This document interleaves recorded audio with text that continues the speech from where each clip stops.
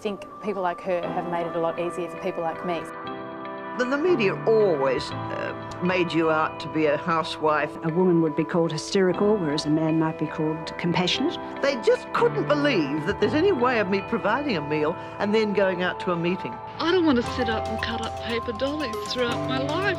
I need to be utilised. There's Girlie, this Broad on the programming. What would she possibly know about footy and uh, where does she come from? Self-representation, whether they're making films appropriately. Women are supposed to be much nicer than that and softer and not supposed to be aggressive. The women have to take over, if I can use that phrase.